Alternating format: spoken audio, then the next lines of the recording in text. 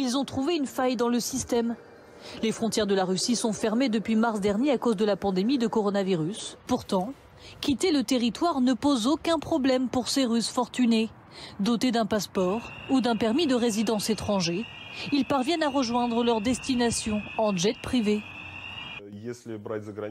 Les destinations les plus populaires, c'est Nice, Malaga, l'Italie avec Pise.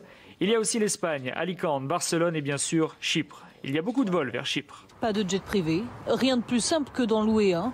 La compagnie de location se charge de la paperasse administrative pour obtenir l'autorisation du gendarme de l'aviation russe. Si bien qu'en deux mois, le nombre de ces vols a plus que doublé depuis les aéroports moscovites, passant de 400 à 850 par mois.